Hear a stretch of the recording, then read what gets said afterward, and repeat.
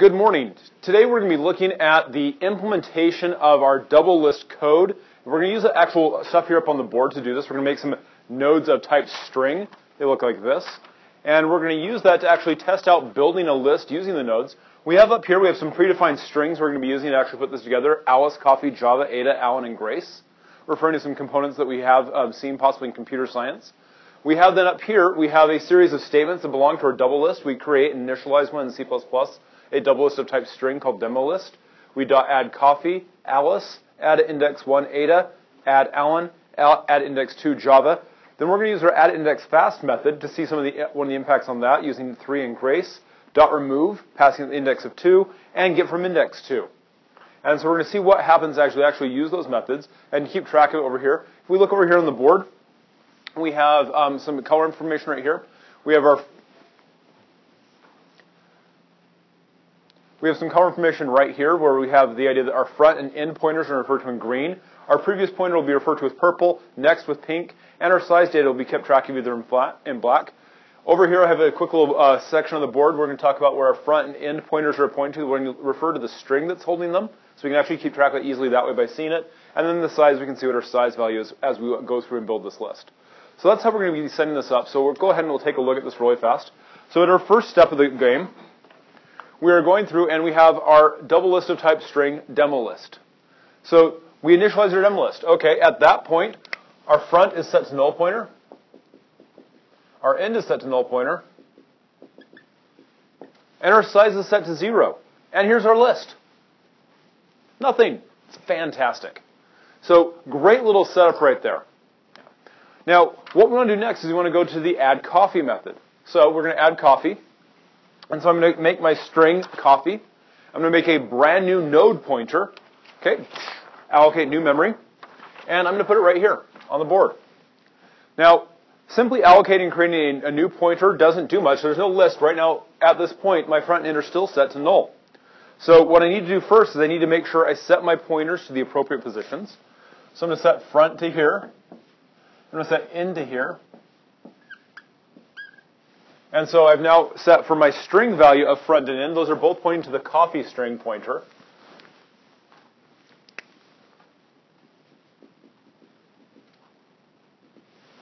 and my size gets updated to be 1. So we have the information right here where our front and end, my, here's my node. The previous pointer by default sets to go to null. The next pointer by default sets to null, so those are both pointing to null pointer. We'll go ahead and write that out right here as well, just to make sure we see what it's pointing to. Because that's where they're pointing to right now. So there's our list. At 1, it's just simply just that lovely node all by its lonesome with two pointers that refer to it and its front and next pointers, or previous and next pointers, excuse me, are both pointing to null. Amazing. Wonderful tool. So our next step right here, we're going to go to our demo list. Our next step is demo list.add, passing it the Alice string. So we're making a brand new string of type, a new node pointer.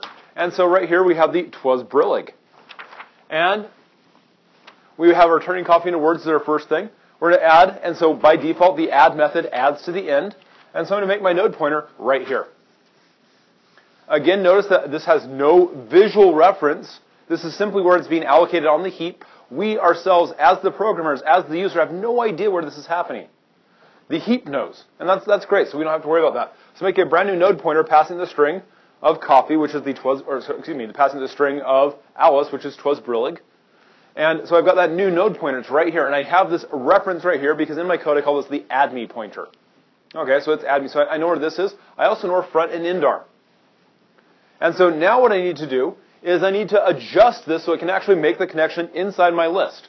And so I do that is the first thing I do is I tell my previous pointer, which is my purple marker, I'm going to go add me. I'm going to say its previous pointer to point to end. Oh, okay. So the previous pointer, I'm going to draw a lovely little line right here, and it's going to point to end because this end is pointing to this pointer. The next step, of course, since this is a double linked list, I'm going to tell end, I'm going to tell end's next pointer to point to the new node. Okay, sweet. So I'm going to grab its next pointer, and instead of being null pointer, it's now going to point to that new node. So I have my front and end are both pointing to the coffee node, still right here. I have the end, its next pointer is pointing to this, and by default, of course, the next pointer of the new node is pointing to null pointer. Now, this is almost quite finished. The next thing we have to do, though, is we have to make sure we adjust end and change the size. So let's do that. The next, so we do the set end method. We set end and we pass it the reference to this pointer right here. So all I have to do is go down right here now and tell end to point to it. And size goes up by one. So let's make those appropriate changes on our little reference sheet right here. And so end is no longer pointing to coffee. End now points to the, the Alice string po- uh, pointer and the size goes up by 1 to become 2. So there is our list after two add statements. Really quite amazing. Our next one we have is the add index. And we're calling the add index method, and we're going to pass it a 1 and the parameter Ada. So we're going to create a new node and put it in it index 1. So at that point, I have my Ada node, Lady Ada Lovelace, and I'm going to put the right here allocate a new node on the heap. Again, I don't know where it gets um, allocated. It simply just puts up there. So now that I've got this new Lady Ada Lovelace node, I have, I'm going to put this at index 1. Oh, okay, so the process that we have for adding an index is I have to go through, create my new um, thing, and get to the spot I'm going to add to. Now, we have the add index, we have the index fast, because we're looking at the two different ways of actually implementing that add. So add index is just the regular uh, simple pointer chain like we took from our singly linked list where it just goes one at a time from the front all the way through. So index 1, okay, and we're going to start at 0, go until we're less than the index, and grab the next pointer. Okay, start at 0, and front. 0 is less than 1. Okay, great, I'm going to point to the next pointer. Oh, okay, cool. So this is where, this is the index 1. Oh, yes it is. Oh, sweet. Okay, so I have index 1. I've got that right here, and so I need to put have this one go at this spot. And because this is a non-destructive structure, it's a list, we're going to just shift everything over. So I have a reference to this. I have a pointer that's now pointing to this one. And so I need to go ahead and I need to tell this one that this is going to be its next. Oh, so I have a pointer to this, and I have this one I already have created as a pointer, so I have an access to it already. So what I need to do is I need to go ahead and I need to grab this one until its next, and next is uh, pink. Its next pointer is going to point to right here. And this one's previous pointer is no longer going to point to front. Oh, we're going to say its previous pointer to point to this brand new node. So erase that previous pointer right here. Make a new previous pointer. And that previous pointer is pointing to my brand new node. Okay? So if we look at right here, I've got my front, I have my in, I have this other thing, and it's connected Oh, I need to tell, and this one's next is still pointing to null.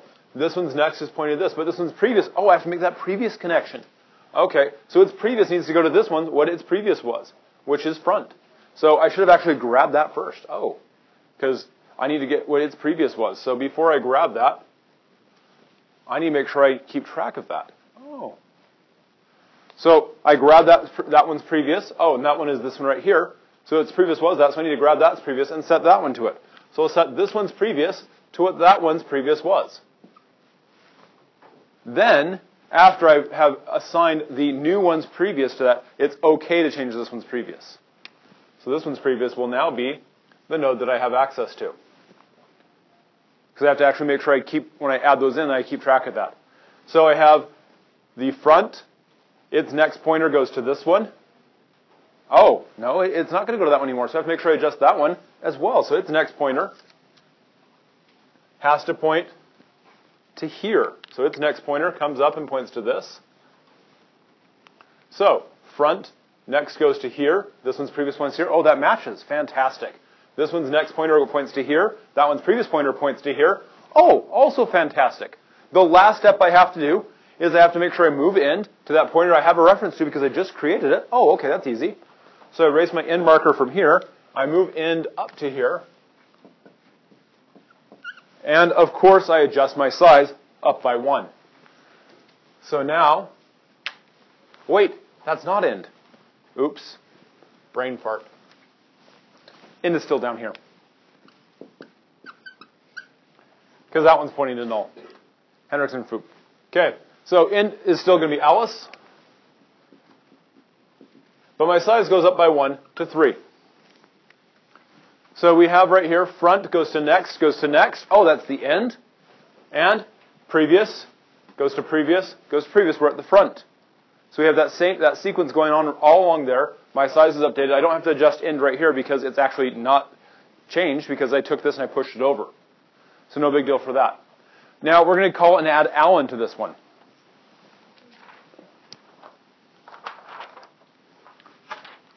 So we have Alan Turing is the string value for our add Allen method. And so since add is automatically going to go to the end, I'm just going to go through and I use the find end method. I don't have to loop over to it because I just know end. Oh, end. Sweet. And I make my new pointer. Okay. Again, the location of where my pointer is in the heap, I have no idea. It doesn't matter. It's just a pointer I have access to. Okay, so I'm going to say end. I'm going to tell it's next. It's going to point to my new one.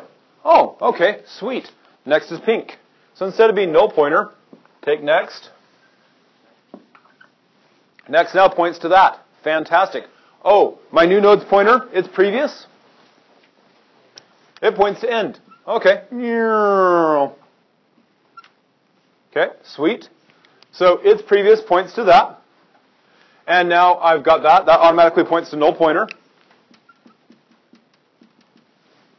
Also a good idea to keep track of for some bizarre reason. Okay? So I have that right there. So I have my next points to here.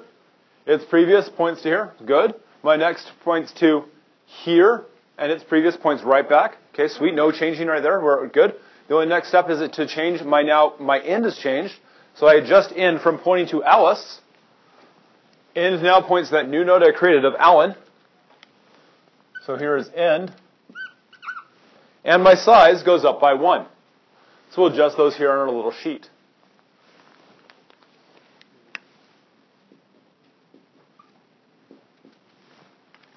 And so we start up front. We go to next. We go to next. We go to next. Four steps. We're at the end. Oh, sweet, because my end goes point no pointer. I'm in the right direction. Fantastic. My next statement we have is we're going to call demo list.addIndex, and we're going to pass it to and the string Java. So for my Java string, I have a class declaration. Ah, yes. Public class node with uh, two private data members and a constructor. Yeah, cheesy, I know. So we have the add at index 2. So again, with add at index, we have to find, we're using that simple chaining method of pointer chaining with a loop. So we start at the front, Zero is zero less than two? Yes, it is.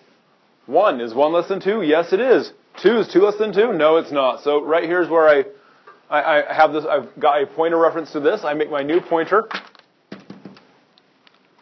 And I've got my one pointer. I'm going to add an index two because this is where it's pointing to. So I'm, I have, this is where I'm going to be going for its next.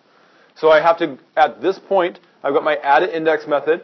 I need to make sure that it's going to go to two, so it's going to be added here at this spot. So it means this one's going to shift everything else over, and I'm going to connect this one. So I have this new pointer, and I have to grab the previous pointer so I can connect it. So I'm going to grab its previous, and it's going to point up to here. And previous is purple. Make sure I grab the right marker color, though. So its previous points to that.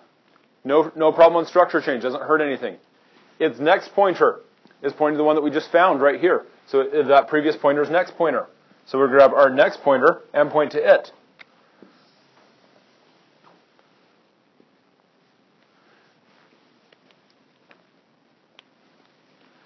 Nothing, it has two things pointing to it, not hurting anything right here, even though it has two things saying it's previous. We're okay. We haven't hurt any damage or anything like that. We just have some pointers we have to adjust.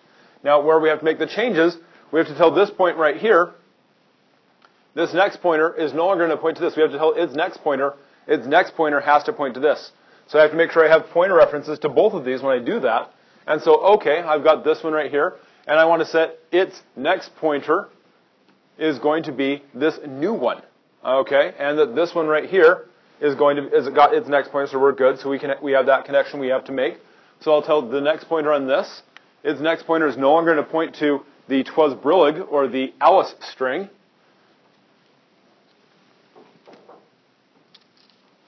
We're going to pass it the reference to that new node that we just created, the Java node.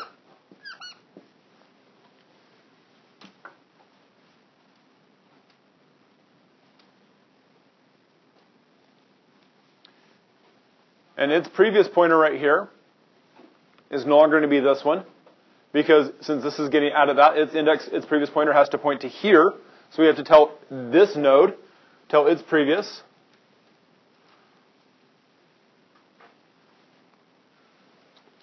That it's not pointing to that anymore because it's going to point over here to this.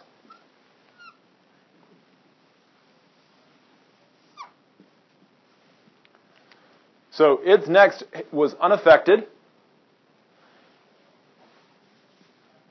Its previous, um, it's still the, and so its previous, the one that has the previous pointer to it is also going to be unaffected.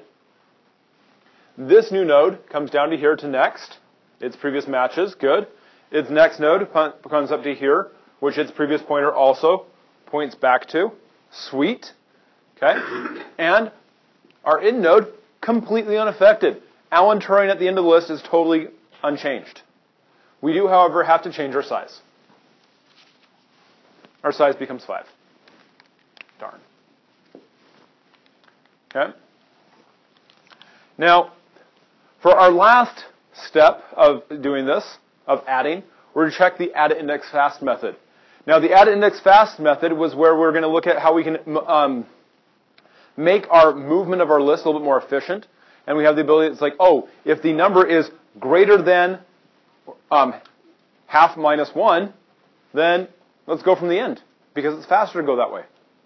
So 3, our size, is 5. 5 divided by 2 is 2. Oh, 3 is definitely bigger than 2. So it's going to be faster to go that way. So, we're going to use the add index fast method to go to the end. And so we're going to see the comparisons we have to make.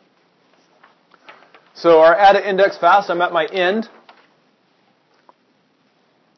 And I'm going to start off at, I'm at my end. I'm going to start off at size minus 1. 4. Oh, weird. That's the, that's the spot. Okay.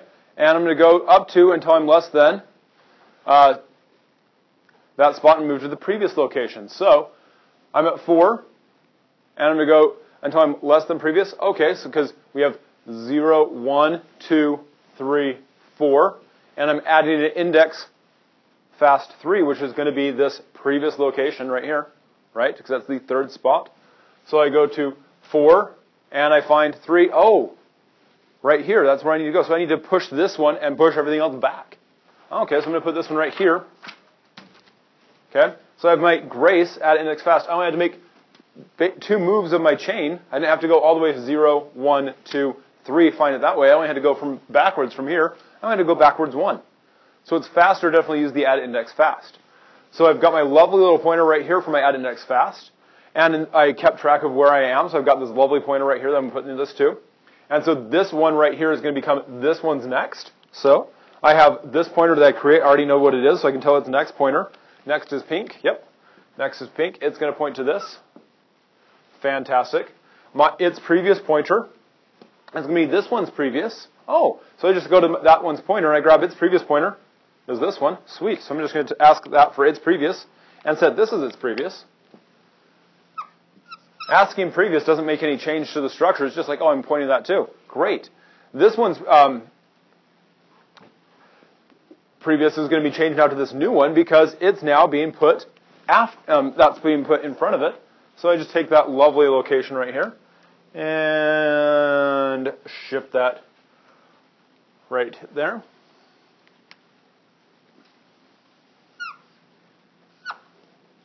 And that next doesn't change because it's still pointing to that.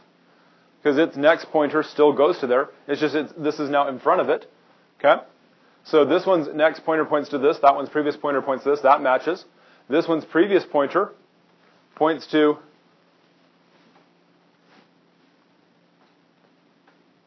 that, which is that one's previous one. Good. So this one's next pointer, oh, so that one we have to make sure we adjust that so it no longer points to that. It points to Grace Hopper, because its next is now Grace Hopper. Make that change, and in still stays the same. All you have to do is change your size and go up to 6. So we've gone through and made those changes using that to go through that right there. So our front and end only changed when we change things that add at those specific positions. We last ha um, have two more statements. We have demolist.remove2 and get from index 2. So remove is a destructive method. So we're going to start off at remove. We're going to start, we're just going from 0, then 1, and then 2. So I'm going to remove my Java node from this. So in order to remove the Java node, I have to make sure I get its previous and next value so I can make sure I can reconnect them properly. So the first thing I need to do is I need to grab pointers to its previous and its next value. So here is its previous. Make a special pointer to point to its previous. So it's previous right there. And its next was right here. So I just have two little pointers right here. And all I need to do first is I first want to grab that previous. I want to set its next to this one's next. So I'm going to take the lovely pointer right here for its next. And instead of pointing to here, I move that pointer down to here. And I tell this one's next, instead of pointing to